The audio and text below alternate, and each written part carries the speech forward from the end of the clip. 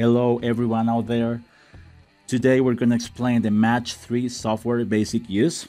Uh, this due to some of you have requested and are interested in getting involved on this software and learning how to operate Mach 3 based machines properly.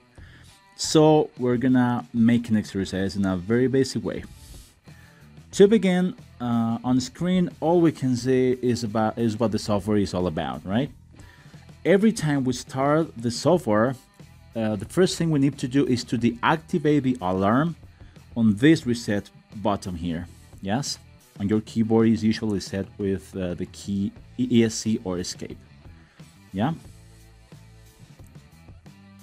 So you have to click on, on this reset button here. You can see all the environment information and uh, initially we have to this cycle start button here then we have pause button and then we have this stop button and reset can be also used to stop the software as well. On this part here we can edit the g-code yeah? It will display uh, how to open it and change some stuff in it yeah? On this area we have the timing. It will display how long the program will last while performing it yeah? Uh, here we have the feed rate which displays the program's feed. And when starting the Mach 3, the feed rate is set by default in 100%. It's important to take this into account. Then the, we have the spindle speed. So as its name suggests, it speeds the spindle, right? And uh, it will work properly as long as it's being controlled with a, with a PWM cord. Uh, so mm, first we're gonna make the exercise of starting from zero this, uh, this is in order to perform the, the, the spindle heating, right? So when having uh, 24,000 RPM spindles or more, even with these two small 12,000 RPM spindles, it's important to set a warm-up before starting to work. Why? This is with the purpose of widening the bearing's life cycle. When moving the machine to reach the zero point, uh, you can see the zero it's set on this area pointing out, right? It's a polycarbonate, it's a polymer. I need to move the machine to that point, so I click on TAB on my keyboard, right? Then the jog is displayed, uh, or how to move such program. What we have here is the speed it's, uh, the, the, machine it's about to move, and uh, we have uh, every axis, right? For example, I'm gonna move X, right? Then Y. Remember the machine's positives and negatives in order not to move it the wrong way. Yeah. And from here, um, I can set the speed. In this case, I'm setting an 80%. Uh, so we can see the machine moves, moves faster, right? So what we will do here is to get closer to that zero point.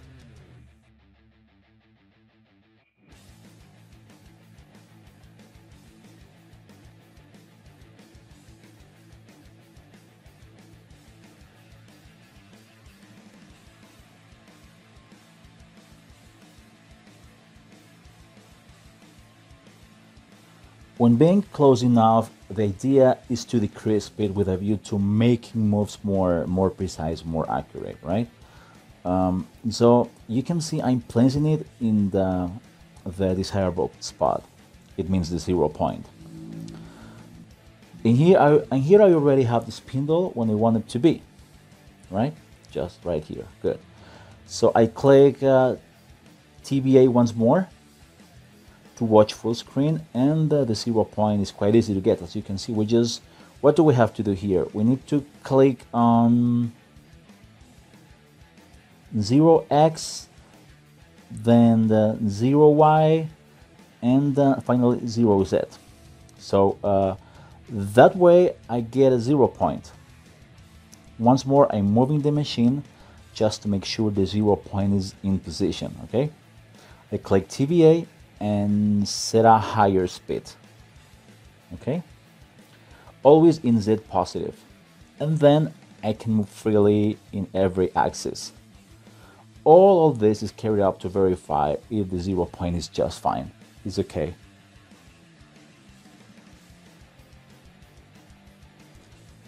Therefore, what I'm about to do is to turn the spindle on. Just before checking the zero point, of course, And I'm, I'm doing that with the purpose of avoiding the tool to crash into the material itself, right? So uh, I'm turning the spindle on and then I am clicking here on MDI, Alt F2, right? And we'll set as follows, right? G double O, uh, it's important we make this in capital letter, of course, which, um, which means fast forward at a speed of XO, YO, and then click enter. Okay, uh, we see uh, it's in position. Now as we are entering the material, we type GO1Z O F 5 double O, um, and that's to promote a smaller move. That way I can react if something goes wrong. Yeah. Then, uh, then we see uh, how the tool went down and reached the zero point. Okay. This way we realize that the zero point is placed in the right way. Well, in order to guarantee the spindle's life cycle, the idea is not to start using the spindle when it's cold as soon as we turn on the machine after several days without using it. So it's recommended not to use it as its maximum RPM, but to warm it up progressively before starting a program. If the spindle has a PWM, it can be done that, that way previously mentioned.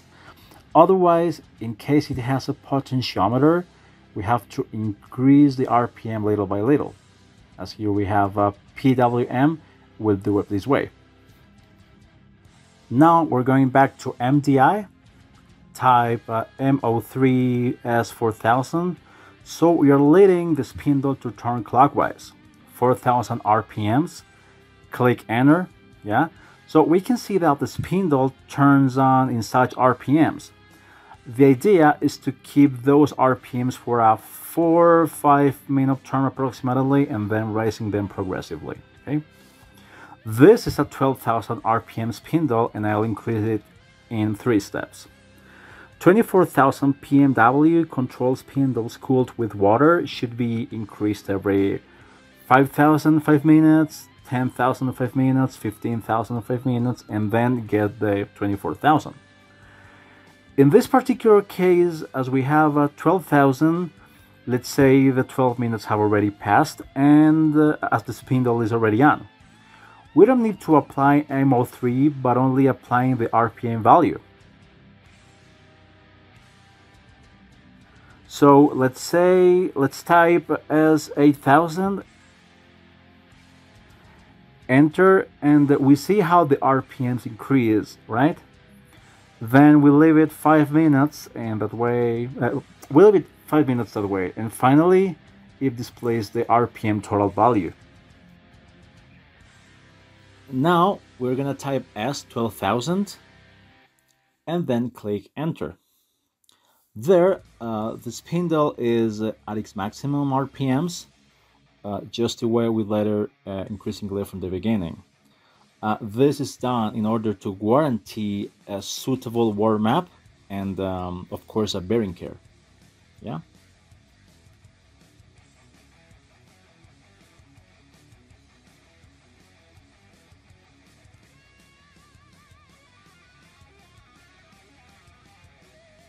When turning the spindle off, uh, we are proceed to type M5, enter and this is the code to turn the spindle off. Okay.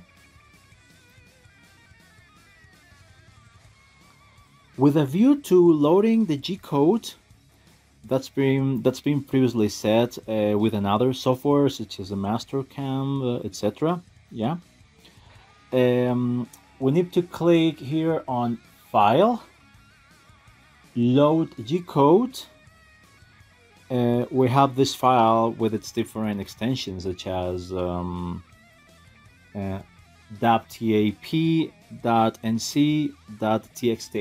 okay? I got this one by default. And here uh, we have a software preview of um, uh, what it's about to be executed, okay?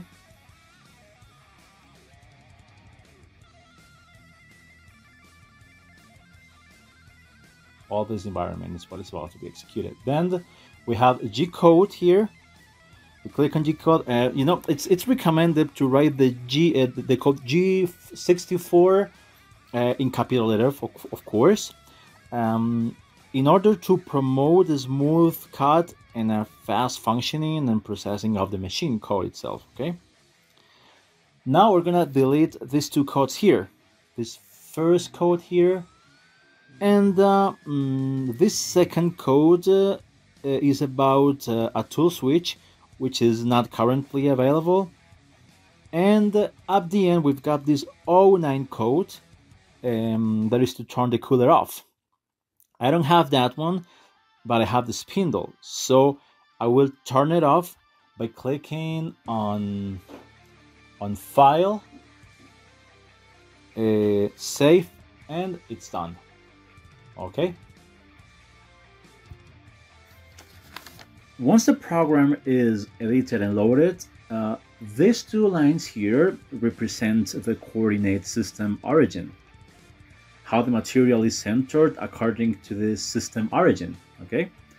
The idea is not to send the program straight away due to the forward move uh, could be so high.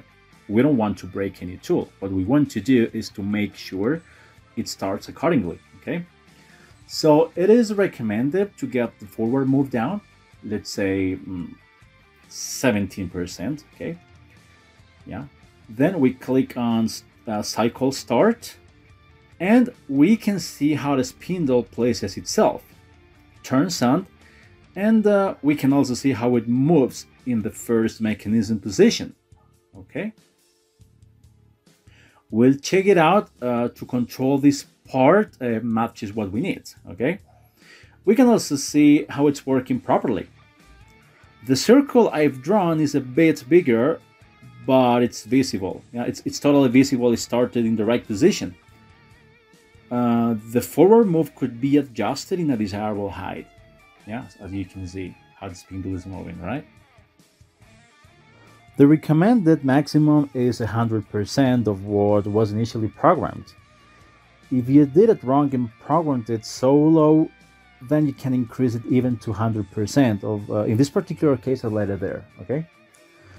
When intending to pause the program, you can click here on feed hold, all right? It immediately stops in case I want to make a revision of any kind, okay? Uh, then I click back on cycle start. Uh, when clicking stop here, it stops not only the program but also the spindle. It can even lose track of the coordinate it was working on. So if we're going to turn the spindle on, we can make it straight from this button here, uh, spindle CWF5, and then cycle start again. All right. Uh, well, uh, this is all I have to share with you guys. Uh, I hope you find it pretty useful. Later on, uh, I will be posting more CNC stuff. Um, you are fully invited to give a like to this video and subscribe to my channel. Thanks a lot for your attention. Hope to see you soon, guys. Bye.